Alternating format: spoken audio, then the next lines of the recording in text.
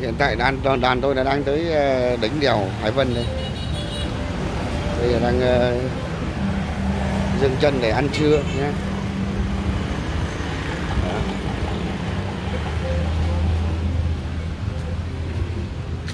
Hiện tại bây giờ đã đang là 12 giờ 35 phút.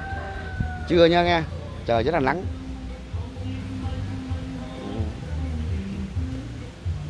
Đây tôi cạnh toàn cảnh đèo Hải Vân đấy các bạn, coi luôn này.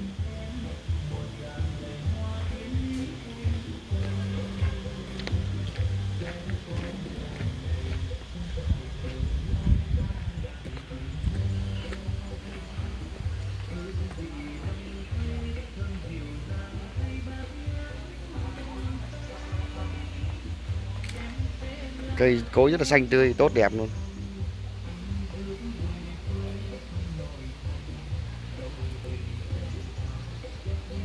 Đấy mới là ngang chừng đèo thôi nhé chưa lên tới đỉnh. Lên tới đỉnh nó còn cao lắm các bạn ạ.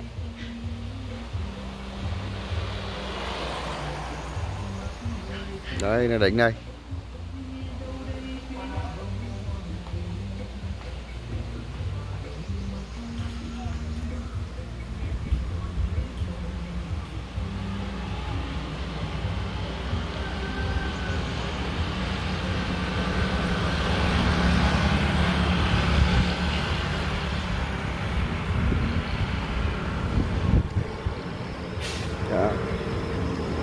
Bởi còn đang nhìn rất là nhiều xe.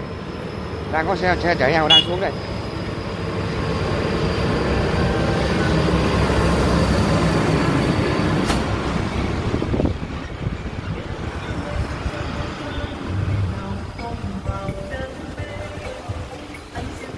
Đây. Đây là nước tự nhiên nha các bạn nhé. Nước này ở trên suối, xuống này rất là tự nhiên.